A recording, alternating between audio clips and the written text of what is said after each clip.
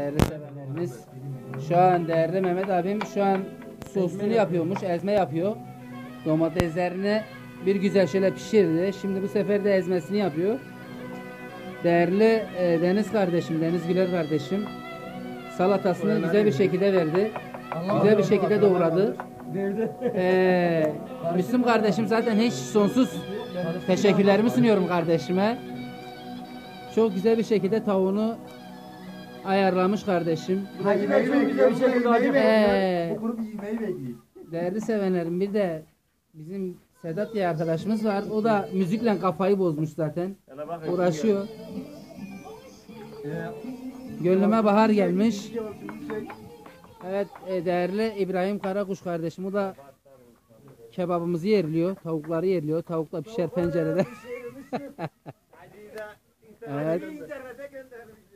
Evet bir güzel şöyle kardeşim. Acemi ama yine de idare eder ya. Cahit de zaten açlıktan ölecek. Ben yemeği bekliyorum. Evet. Bence biraz önce attım yok dedim. Tuz verin abi diyor. Bakın hadi. Nasıl ettin Deniz kardeşim? O parmaklarını keserim ha. Ben söyleyeyim size. O şey şey olsa da o limon falan. Maşallah Mehmet abim de hakkını veriyor ya. Abi ben zaten yaparım da. Hakkını iyi veriyorsun sen. Hey! Ya ad- adama bak ya. Kaza geldi.